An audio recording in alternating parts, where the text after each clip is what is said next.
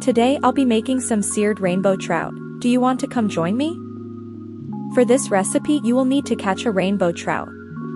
You can fish for these in peaceful meadows or the forest of valor. Next we will need to grow a tomato, which you can get from Goofy on Dazzle Beach. Lastly we'll need an onion, which you can get from his stall in the Forest of Valor.